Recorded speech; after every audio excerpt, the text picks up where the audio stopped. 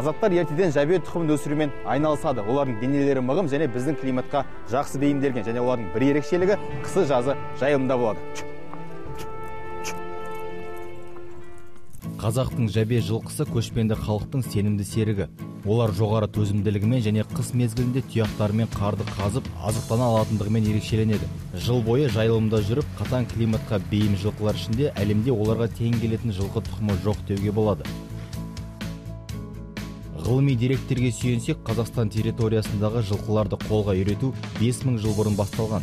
Жәбе тұқымды жылқылардың ата тегі сол ертедегі қазақ жылқылары болып табылады. Олардың қалыптасуы қазіргі ақтөбе облысының оңтүстігінде 1930 жылы ашылған ембі жылқы зауытында өткен. Дене бітімін жақсарту үшін дондық тұқыммен будандастырған. Соған қарамастан жәбелер дондық жылқыларға қарағанда көлемді келеді. Жәбе тұқымды жылқылар төзімді көнбіс болғандықтан мінуге жақсы. Алайда оларды негізінен ет және сүт бағытында өсіреді. Солардың бірі алматы облысы алакөл ауданының таулы жерінде орналасқан шаруашылық. Биік таулы климат жайлауға өте ыңғайлы. Тауда жазғы күндері аса қатты ыстық болмайды және су шөп жылқы өсіруге қажеттің бәрі бар. Қыста біздің жылқы өмірі шөп бермейміз мына подножный шөп анау мынау бермейміз. Өз өз несімен өз аяғымен өз несімен жайылып шығады жаға мына февраль марттан бастап құлындайды құлындап болғаннан кейін жұма айдың жиырмасында біз жайлауға көшеміз. Жайлау деген жер не? Осы ғой енді былай. Былай шығамыз. Сол жаққа енді ол жақта үш ай төрт ай отырып сентябрьде уже былай етекке көшеміз де. Етекке сентябрь октябрь ноябрьде уже біз ана құлындарды бөлеміз. Жайылым жерде жылқы баққан дұрыс әрине. Алайда оның қауіпті тұстары да бар. Қасқырлардан бөлек мұнда улы жыландар да кездеседі. Шаруашылықта ет бағытындағы 1200 бас бар. Барлық жылқылар төрт табынға бөлінген және әрқайсысының жайылатын аумағы бар. Сондай ақ мұнда жергілікті малдың дене бітімін ірілендіру мақсатында селекциямен айналысады.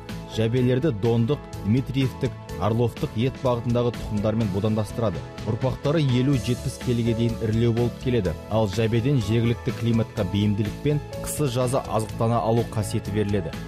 Біздің мына жабе осы қазақи жылқыларымыз біздің мына тау тасқа қыста теуіп жейді. Қар бір метр қар болса да теуіп астындағы шөбін жейді. Соған бейімделген. Ал енді ана ірі нелер мысалы үшін россиядан келген басқа әкелген породалар олар қыста жайыламайды тау тасқа жақсы шығып жүре алмайды. Сондықтан одан алып екеуін екеуін қосқандағы неміз сол соған бейімделсе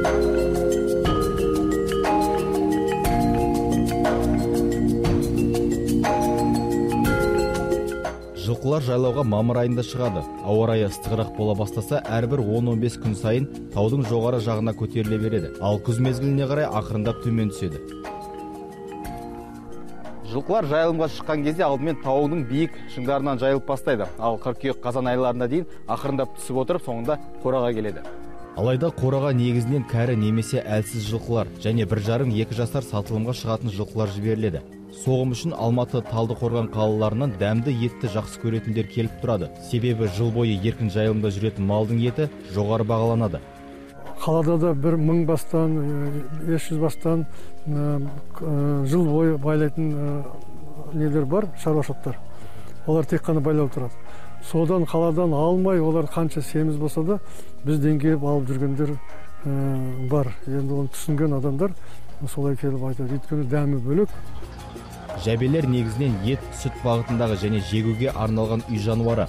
Алайда жергілікті халық ол жылқылармен ат жарыстарға да қатысып тұрады. Енді өзіміздің де атымызды дамытып атсақ деген ойымыз бар. Қазір жылқы өсіп келеді ауданымызда. Бірақ енді қазір біздің жылқылар ет қымыз жаңағы сол мына мал баққанға сондайға нетін бөле жатқан жылқылар. Таудың бөктерінде орналасқан алакөл ауданында жылқы шаруашылығымен айналысуға әбден болады. Оңтүстік шығыс қазақстанның жылы климаты кең жайылым жерлер өзен көлдер егістік алқаптары мұның барлығы мал шаруашылығымен айналысуға мүмкіндік береді. Ал ол мүмкіндікті ауыл тұрғындары толықтай пайдалануда.